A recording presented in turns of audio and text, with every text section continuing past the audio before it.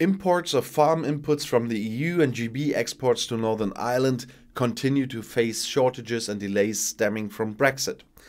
The Agricultural Industries Co uh, Confederation, the AIC, said almost all of its members, which supply inputs including feed, fertilizer, and crop protection products to farms, had experienced challenges affecting supplies. Worst affected has been the feed sector, according to the trade association, with seed and fertilizer also seeing issues. Ed Barker, head of policy and external affairs at the AIC, said the impact is partly delays but also irreconcilable issues regarding paperwork, especially on feed exports. So far, businesses have done well to mitigate the effects on GB farmer supplies. A survey of AIC members has just showed that EU import, in, in the case of EU imports, 25% had noticed issues on importing goods from the EU to Great Britain since January 1st. The main problems were physical readiness at ports or points of entry and costs such as tariffs, agent fees, and uh, customs fees. 61% said they were not confident about what would be expected of them when full inspection checks are phased in from October 2021. And then there's the Great Britain exports to Northern Ireland. Two thirds have had challenges or difficulties exporting to Northern Ireland from Great Britain since January 1st.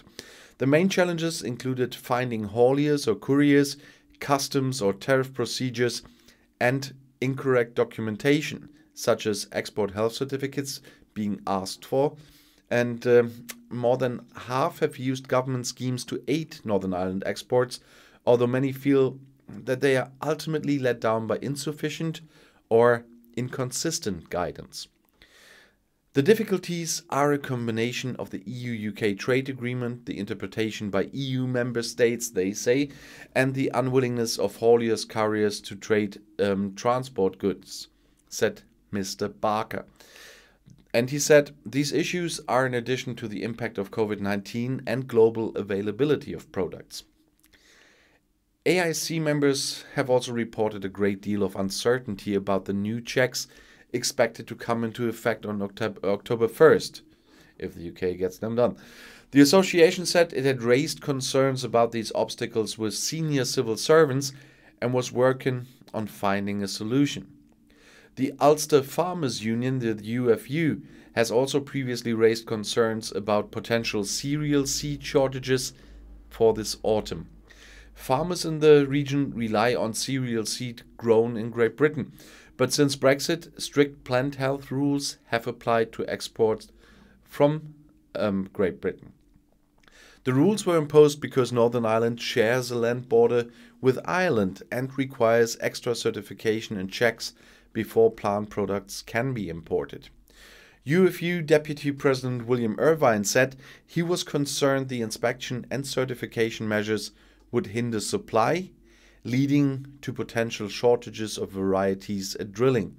There's also the additional cost of testing and labeling requirements for smaller seed lots, which could make some varieties unviable, Mr. Irvine said.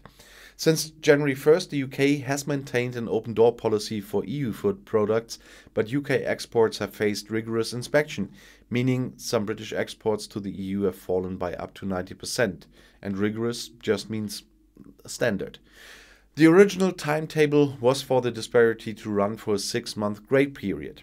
However, the 30 border control posts needed to carry out inspections on imports were not ready in time and the schedule slipped. The revised timetable is for physical checks to begin on January 1st, 2022, once port authorities have built the necessary infrastructure, and some are not very confident, as you might have seen my Portsmouth video. Documentary checks will begin earlier, on October 1st, if they can at least manage that one. I'll see you in my next video. Bis gleich.